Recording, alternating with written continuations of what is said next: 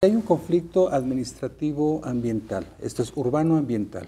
El conflicto se da en que los criterios con los cuales se autorizan este tipo de desarrollos no han vinculado todavía con los criterios ambientales. Es un enfrentamiento permanente que se da a causa pues, de la estructura normativa que hay en las dos líneas.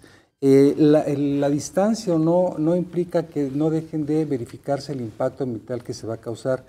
Eh, la ley es muy clara cuando dice que cualquier obra o actividad que pretenda causar un desequilibrio ambiental o que pueda causar un desequilibrio ambiental debe de presentar previo a su realización un estudio de impacto ambiental.